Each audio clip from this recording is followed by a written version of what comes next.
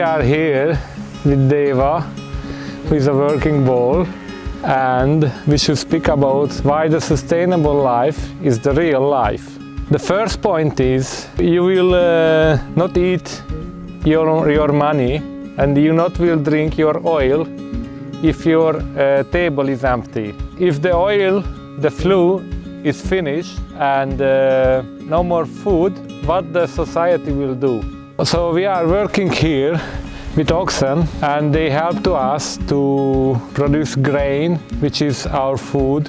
And uh, of course we have cows and we have milk.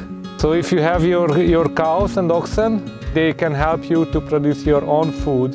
And uh, in the future, if the oil will finish, maybe you can find some other methods, maybe you bomb your water and, and uh, you, will, you will find out some new motor which is rolling with, with uh, water or you can make diesel from, from corn or uh, rapeseed but still we have a old method which is true by centuries.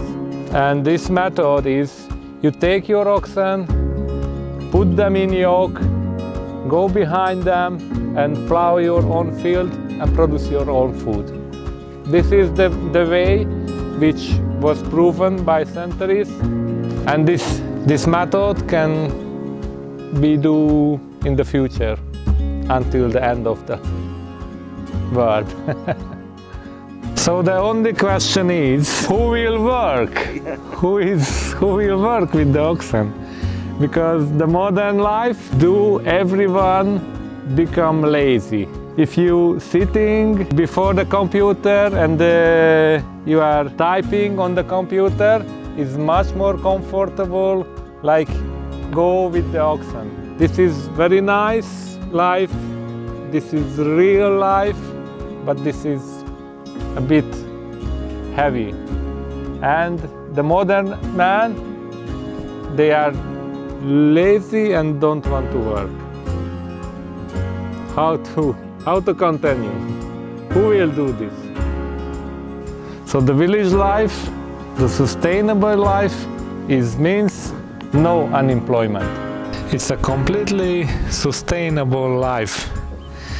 You can see here, you can transport with the oxen, you can plow, you can produce your own food, and the flue is the grass. It's sustainable anyway.